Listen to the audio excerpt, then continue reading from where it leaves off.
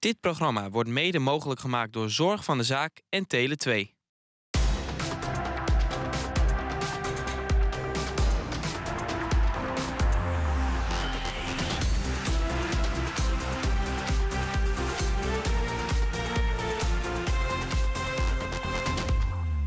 Welkom bij FC Utrecht TV. In deze aflevering praten we met Rubio Rubin over zijn eerste basisplaats van het seizoen. Yeah, I mean, it's been uh, like a long time since I've played since last season. Hebben we het met Rick Kruis over zijn mooie periode bij FC Utrecht. Als jongen is, ben je altijd voor één club natuurlijk. Als je klein bent, dat hou je altijd wel zo, denk ik, je hele leven. En dat is voor mij natuurlijk Utrecht. En blikken we met Mark van der Marel vooruit op de wedstrijd tegen Excelsior.